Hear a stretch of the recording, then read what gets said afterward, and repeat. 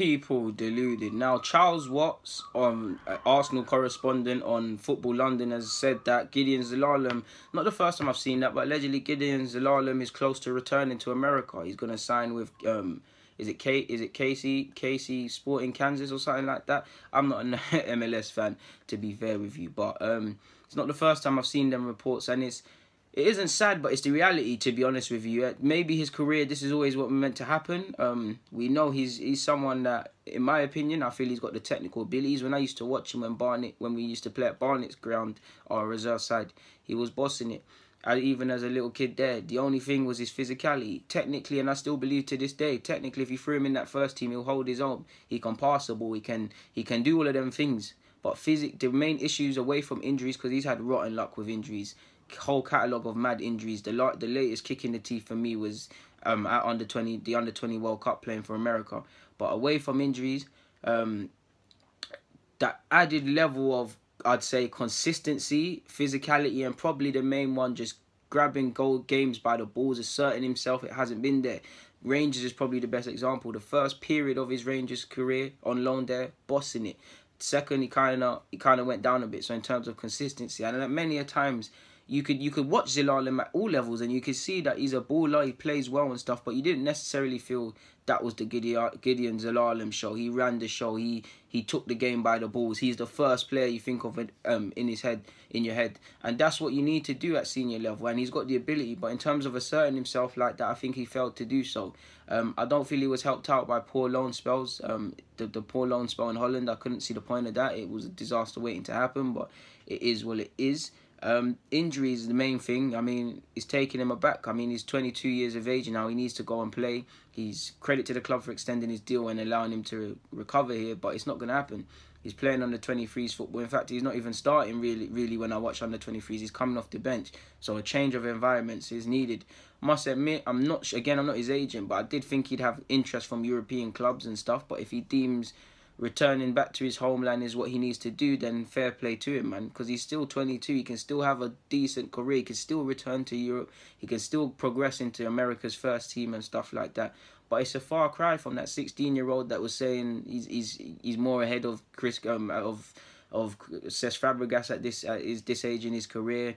Far cry from I swear he was on the bench at a period in the in the FA Cup and the Premier League. It's a far cry from that, and it just shows you how cruel football can be in terms of injuries. It shows you how you shouldn't hype players, and it shows you how maybe this is always what was supposed to happen. It sounds cruel, but maybe he wasn't meant to be the Zelalem that everyone was talking about. He was just this is his career. I always say that with young players. When you see when, when people say they haven't progressed as much, maybe this is as good as it gets. But he's 22. He needs to go somewhere, put his feet down, and assert himself. And it's it's sad, man, because he was flying out with the first team and training. I'm sure he still has small hope of making it here, but it is what it is, man. I wish him all the best if it is true. Um, his contract run out at the end of the season, so it's probably going to be a free transfer. I'm not sure if he'll be able to make the move now or at the end of the year, but well, season. But I wish him all the best, man. Like I said, he's still away from the hype and all these things. He's what he's 22, turning 23. Still got seven years until he's 30. You can do a lot in seven years. If I was him, just focus on rebuilding yourself, man. Focus on just go there, build up your profile. At the end of the day, go and enjoy football again. Feel important playing men's football. Build your name up. Eventually come back to Europe. And who knows, man? Who knows? I still think he could be that guy for America and get full American international caps and stuff. But in regards to Arsenal, this is what happens, man. And it's not just him. There's some players that I rate highly within the academy now that I praise week in, week out. I don't feel they're to make it here because they're not playing to that extra standard. I can't speak for, I can't speak because one day I'll be able to speak about certain things, but certain things I can't. I can't give you lot layman terms. That's why I ask you lot please read between the lines when I say certain things. But yeah, man, it's sad. It's sad, but it is what it is. Again, these are just rumors, so unless it's official confirmation, I don't know. But uh, he has to just get out of under 23 football because like I said he's not even starting consistently for Arsenal's under 23 so you can't really be enjoying it and you know you ain't got a future here so if I had to guess I'd say Zelalem Vontae Daley Campbell, Gilmour, Oluwayu, uh, Bramall, Thompson. There's a couple players that are going to get free transfers, and it's going to be a testing period for these young pros to find clubs. I don't think the likes of Gilmour and Vontae Daley Campbell, I, I wouldn't, I don't understand why they haven't been given new deals, but um, well, I'm only speculating because their contracts are running out. You can go and look on Google. Um, I don't feel either player will struggle to find a club, but maybe some others it will be a testing period when they see their friends going off on preseason tours or whatnot or doing training.